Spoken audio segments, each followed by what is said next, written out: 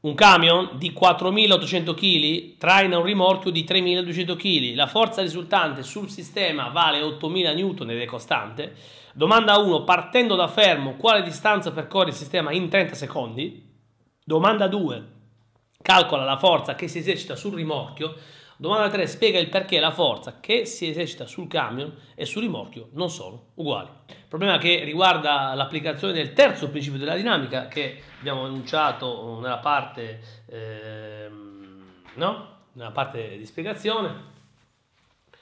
Eh, qui eh, il problema è molto semplice perché immaginiamoci questo è un moto uniformemente accelerato lungo x eh, dunque qui scriviamo le tre, le due, le due risposte, 1 e 2, poi la terza domanda è una spiegazione che diciamo, poi daremo tranquillamente a parole, direi non ci sono problemi. E, dunque eh, ho scritto la massa del camion è 4800 kg, quella del carrello è di quella del, del carrello del rimorchio, e diciamo, siamo questo carrello di 200 kg, quindi abbiamo questo camion no? di, immaginiamo, grosse dimensioni, eccolo qua, eccolo, eh, a cui no? E qui abbiamo un carrellino piccolo magari facciamo eccolo qua ecco uh, questa è questa è M del rimorchio M con R questa è M del camion no? e, ehm, e poi c'è diciamo la forza uh, risultante sul sistema occhio non è la forza che il camion esercita sul carrello o viceversa la forza che il carrello e gira sul cambio. Vi ricordo che per il principio della dinamica due forze devono essere uguali in modulo e ehm, sulla congiungente eh, i due corpi e devono essere eh, uguali contrari no? per terzo principio della, della, dinamica. È chiaro che però qui ci dicono che la forza risultante è 8000 N, ma allora deve valere comunque eh, l'equazione vettoriale eh, facendo riferimento al secondo principio della dinamica, ovvero secondo cui la sommatoria delle forze è pari a m, la massa totale del sistema per l'accelerazione. Poi ci parlano di forza risultante sul sistema, quindi la risultante delle forze, ecco qua, F con R, eh, è pari alla, alla, alla, alla, massa che, del sistema, quindi, massa del, quindi la massa del sistema è massa del camion più massa del rimorchio, cioè, guarda caso, attenzione, 8000 kg eh sì, perché eh, fate 4.008 più 4.002, ottenete proprio, guarda caso, 8.000 kg. E attenzione allora, perché calcoliamoci l'accelerazione del sistema, del sistema, quindi accelerazione del sistema, camion, rimorchio. Chi è? Beh, proiettando lungo x questo secondo principio, chiaramente ci verrà che la forza F con R, ehm, chiaramente poi c'è da tenere presente che lungo y ci sarebbero le, la forza peso eh, a cui è soggetto il, il, il, il camion, quella a cui è soggetto il, il rimorchio, eh, e se no, sono entrambe controbilanciate dalle eh, rispettive reazioni normali, no? per far sì che sia il rimorchio che il camion non, vada, non vadano a sprofondare eh, no, qua sotto la strada, non, non accade, quindi le equazioni lungo y non ci interessano in questo caso perché ci parlano di comunque il moto è lungo, lungo l'asse delle x e pertanto abbiamo solamente la forza risultante a sinistra uguale a cosa? Ha la massa del camion più la massa del rimorchio per l'accelerazione. Quindi si trova subito come l'accelerazione del sistema, che non è pure la domanda 1, ma praticamente eh, di quello stiamo parlando, è costante, quindi si, capisce come il moto sia un moto evidentemente uniformemente accelerato. Quindi lì scriveremo eh, la, uh, la, legge oraria del moto uniformemente accelerato, uh, unidimensionale eh, diretto come l'asse X, quindi l'accelerazione è la forza risultante, in questo caso così, così come ce la chiama il testo del ruffo, di, quello, di questo testo stavo parlando, fatto vi ricordo che la forza è un chilogrammo per metro secondo quadrato, chilogrammo, il chilogrammo se ne vanno, in effetti viene fuori un metro. Secondo quadro, se fate questo conto, quindi se fate 8000 eh, eh, su 8000, perché quello viene, viene un metro, quindi l'accelerazione è un metro, uguale un metro secondo quadrato, quindi, quindi questa è l'espressione dell'accelerazione, vi ricordo che però uh, la legge oraria x di t è un mezzo a t al quadrato, no? Ma visto che noi il tempo ce lo danno, perché ci dicono che il tempo, dato numero 4 che non ho scritto ma scrivo adesso, è 30 secondi.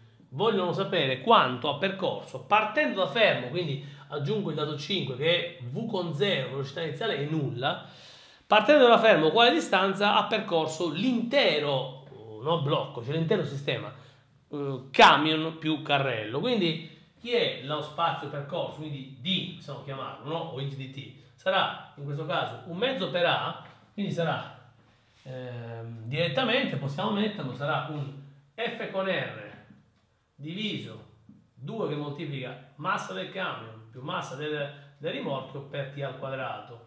Bene, questo valore è molto semplice perché questo è 1, questo è un metro 0,5, se moltiplicate 0,5 per 900, perché 30 al quadrato, ottenete questo valore che in effetti è il risultato, ovvero un 4500 ehm, 4, eh, chiedo scusa, 4, 450 metri, ovviamente. 450 metri. Il testo ci mette come 4,5 per 10 alla 2 eh, metri, no?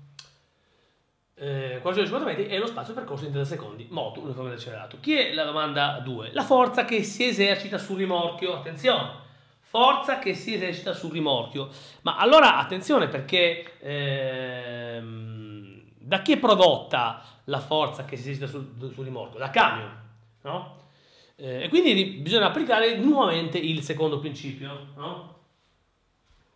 Però cosa cambia? Che la forza che si esercita sul rimorchio, ripeto, è prodotta dal camion.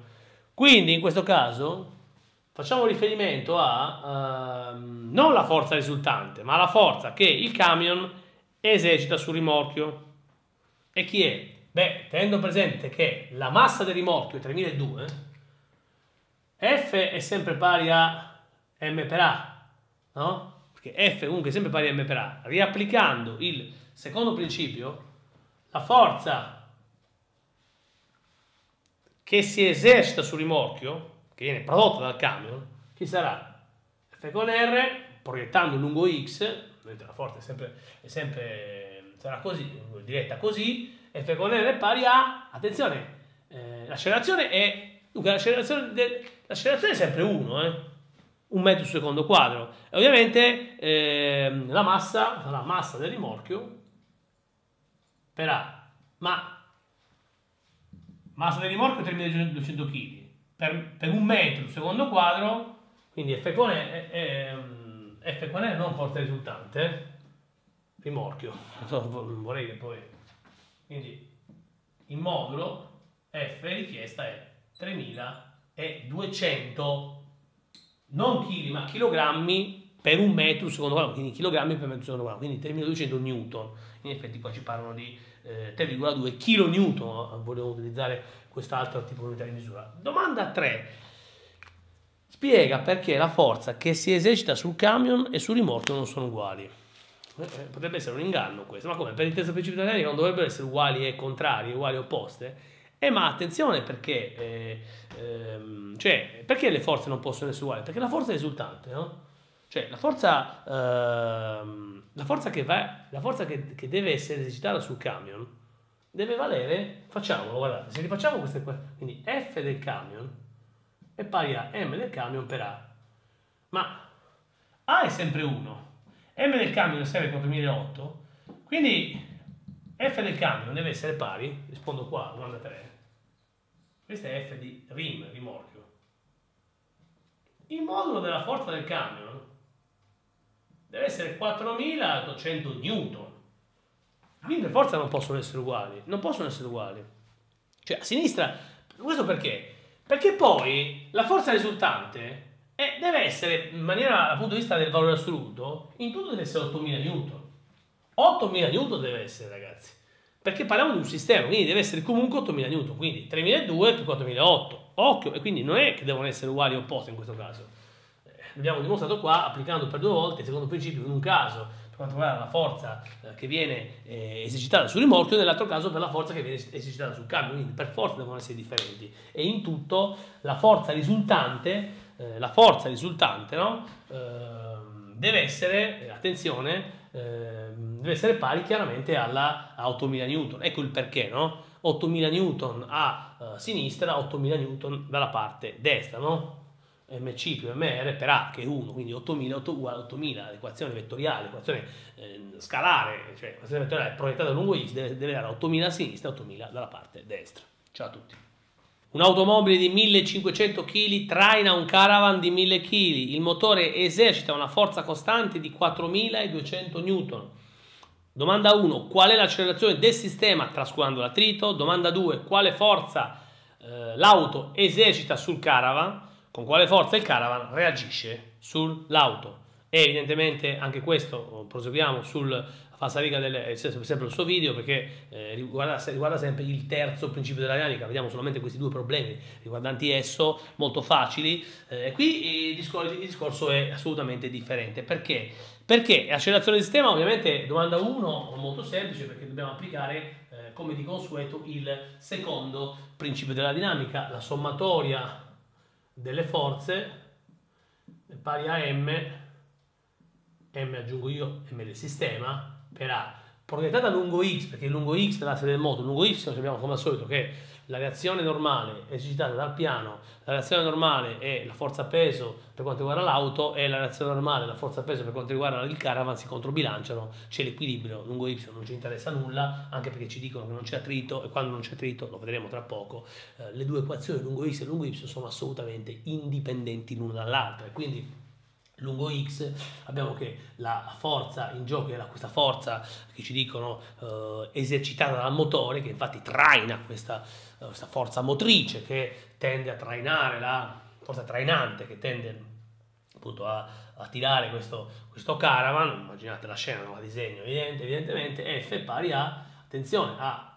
m dell'auto più m del caravan per l'accelerazione. E pertanto l'accelerazione è proprio il rapporto tra la forza e questo somma di queste due masse m dell'auto più m del caravan e se fate i conti qui direi che viene un valore direi abbastanza 1,68 eh, ovviamente eh, la, la, massa dell'auto più la massa eh, del caravan se fate i conti è 2500 kg se fate 4200 newton che poi è un chilogrammo per metro secondo quadro se ne va col chilogrammo di sotto quindi viene fuori effettivamente un'unità di misura pari al metro. Fatto secondo quadro viene un 1,68 metri fatto secondo al quadrato, molto semplice, domanda 2 e questa domanda 2 è diversa, chiedono la forza, ehm, quale forza, l'auto, quale forza eh, l'auto esercita, la forza che l'auto esercita sul, sul caravan, su questa roulotte, no? Di cui stiamo parlando. Eh, beh, e qui dobbiamo riapplicare il eh, secondo principio, ma questa volta però facendo riferimento alla massa del caravan, quindi questa forza è pari a la massa del caravan per l'accelerazione. Oh, l'accelerazione è sempre 1,68, ma siccome la massa del caravan è 1000, se fate 1000 per 1,68, 1680 N, quindi F, chi è F? F è in questo caso um, M con C, guardate, fratto M con A più M con C, proprio per... Um, dunque F con C lo indico qua, per F, dove F era questa forza eh, invece che, ehm, che, il motore esercitava, no? quindi questa è F con C. Eh, e se fate questo conto, tenendo conto che questo è 1,6, questo appunto è un, eh, se fate questo conto qui, eh, ma direttamente anche da qua si può fare, eh, viene proprio un 1680 Newton come mi conferma, questa volta non passa, in, non cambia il 1680 80 Newton. La domanda 3 è immediata. Beh, è evidente che se la forza che l'auto esercita sul caravan è di 1690 Newton, eh, a questa azione eh, corrisponderà una reazione eh, uguale in modulo e contrario inverso che il caravan eh, eserciterà sull'auto e sarà sempre evidentemente F con, no? F con A 1680 Newton forza che, il, forza che il caravan invece esercita sull'auto, uguale e contraria. E quindi direi che non ci sono dubbi qui, proprio si manifesta come si vede come effettivamente vale in maniera uh, direi lampante eh, il terzo principio della dinamica. Ciao a tutti.